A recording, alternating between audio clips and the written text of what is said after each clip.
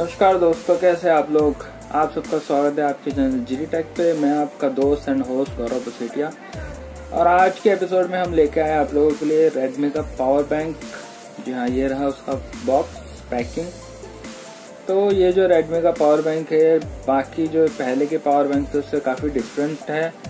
क्योंकि उसमें मी लोगो लगे रहते थे, इसमें रेडमी का पूरा लोगो है और नाम है। तो बाकी अनबॉक्सिंग करके देखते हैं इसमें क्या क्या चीज़ें हमें और देखने को मिलती है अलग, और ये 10 वॉट फास्ट चार्जिंग सपोर्ट भी करता है।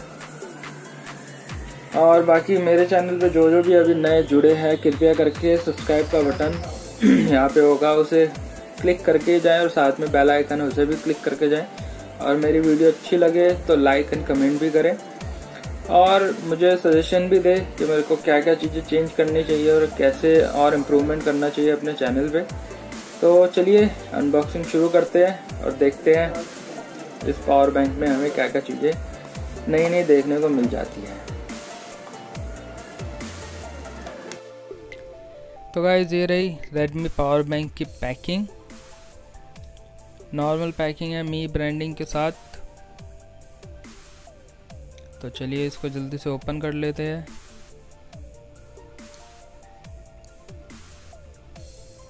तो जैसा कि आपने देखा, पैकिंग के अंदर और कुछ नहीं है, सिर्फ़ इस बॉक्स के अलावा और बॉक्स के ऊपर पूरी ब्रांडिंग दी गई है। दोनों साइडों पे लिखा है Redmi power bank ten thousand M H पीछे की साइड हमें इसके कुछ स्पेसिफिकेशन मिलते हैं और इसके अंदर हमें क्या क्या चीज़ें मिलती है, वो लिखा है।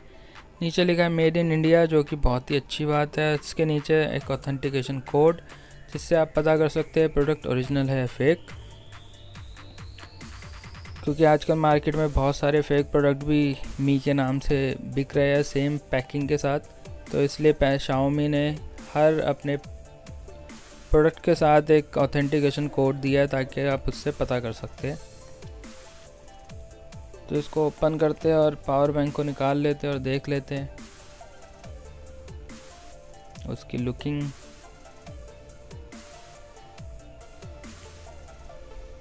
तो हमारा बॉक्स ओपन हो गया। अब निकालते हैं पावर बैंक को। तो देख सकते हैं पूरा सेक्शन ही बाहर निकल गया।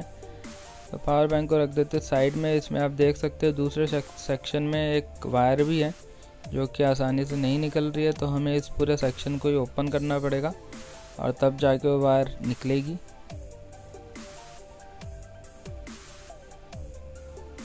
ये देख सकते हैं पूरा सेक्शन ओपन हो गया और ये यहाँ से निकली वायर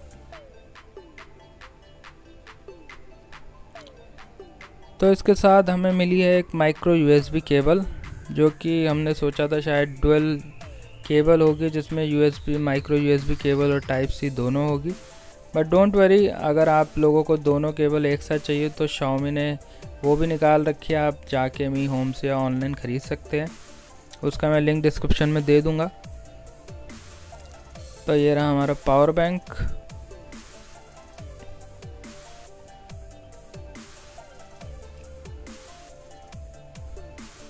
पावर बैंक बहुत ही स्टाइलिश है।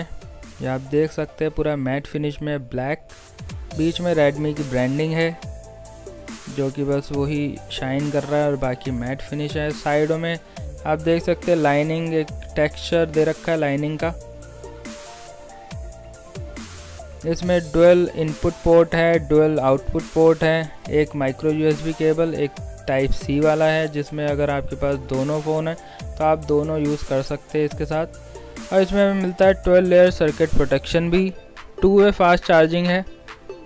लिथियम पॉलीमर बैटरी का इस्तेमाल किया गया है इसमें। Ten watt fast charging support है, जबकि बीस हज़ार एम एच में अट्ठारह वॉट का फास्ट फास्ट चार्जिंग सपोर्ट है।